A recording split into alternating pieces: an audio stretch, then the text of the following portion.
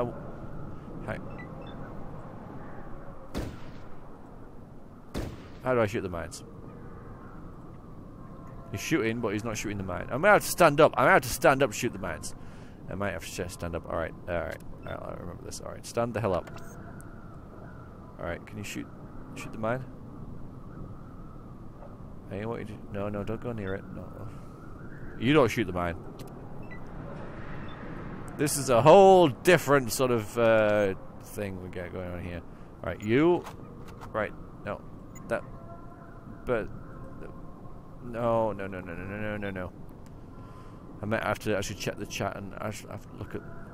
Um, look this up.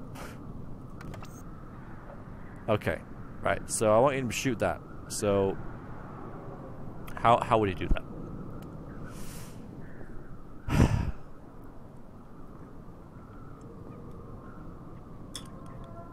That's a question. I, am just wondering how I would shoot the. Uh... Okay, have fun full screening the thing.